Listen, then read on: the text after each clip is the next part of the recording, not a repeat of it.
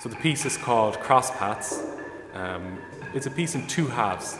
Um, the first part focuses on the, on skins, so uh, of various sizes, so from the concert bass drum up to small bongos.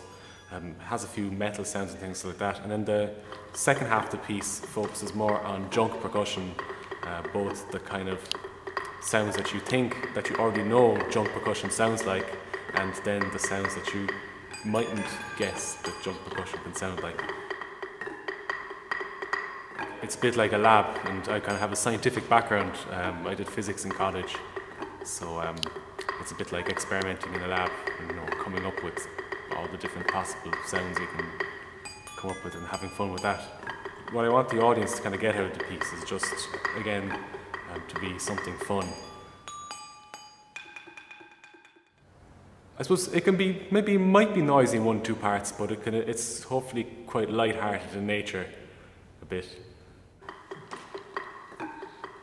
Gene Koshinski has written an amazing piece for um, that uses wind chimes and all those kind of, that kind of sound world. Then there's a really great piece called um, "A Man with a Gun Lives Here" by Steve Snowden.